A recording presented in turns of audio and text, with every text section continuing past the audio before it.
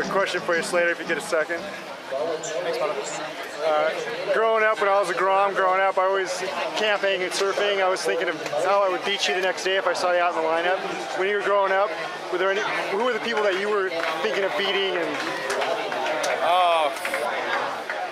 Well, when I was a kid, it was my friends, you know, and then, you know, it just grew bigger and bigger, and eventually it was Tom Curren, you know, right on, yeah, and uh, know, and then at some point it sort of became guys around my age, and then it became guys younger than me. So right, right.